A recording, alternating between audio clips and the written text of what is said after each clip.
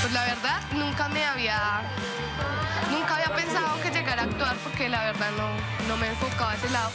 Pero pues es alguna experiencia muy chévere que en un futuro recordaré que actué. Se siente como una liga sin y lo más chévere del corto fue conocerlos a ustedes, me parece, sí.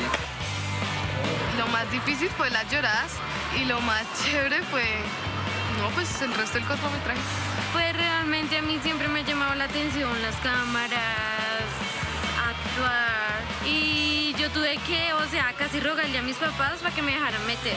O sea, al principio como que, ay Dios mío, pero ya después al último, o sea, uno ya va cogiendo las cosas mm, más relajadas y en mi futuro sí me gustaría estar, o sea, más interesada en eso.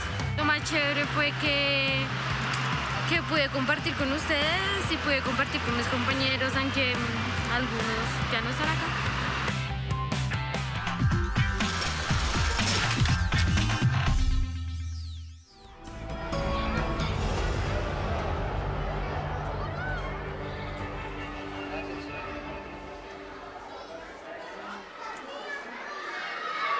¿Qué hace? No, venga, y suave, Emily. No, ¿ahora qué le hice? Es que estaba en mi casa, la invité. Y pues fui a servirle un jugo y cuando regresé, botó como que el no sé, estaba enferma. Y ahí está la foto de mi papá. ¿No la hizo? La verdad no le hice. Bueno, yo la hice.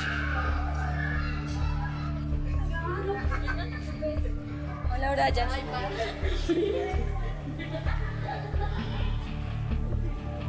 Emily, ¿qué pasó? Porque saliste de la casa, rompiste la foto de mi papá, ¿qué pasó? Es que, mira, es muy difícil de decirlo y no sé.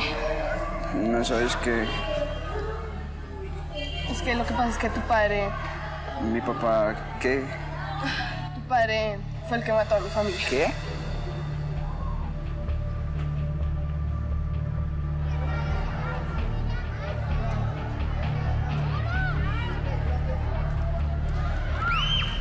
Diego, ven, espera, tengo que decirte algo. Diego, ven, tengo que decirte algo.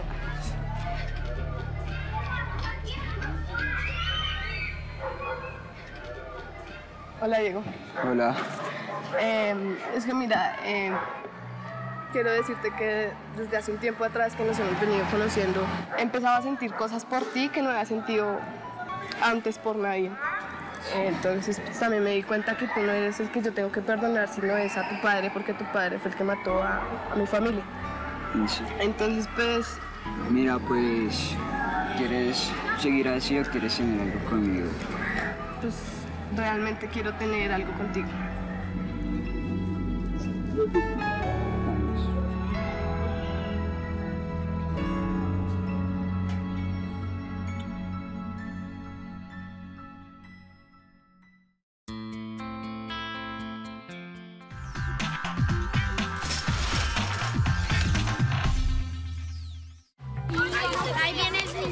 Me sentí muy bien, fue una experiencia chévere, me dio mucha risa porque pues la cámara me causa risa y, y ya me hace reír.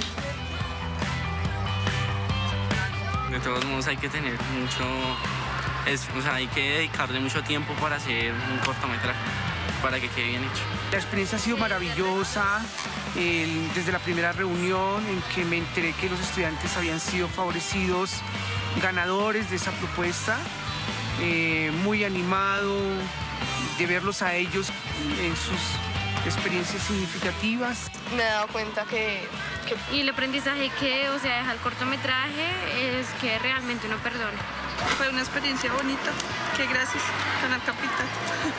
La verdad nunca me había pasado, nunca me han, se había tenido una experiencia de estas hasta ahora, de que nosotros vamos a salir por televisión, seremos famosas, del aseo pasamos a ser famosas. Dos, uno, acción. El.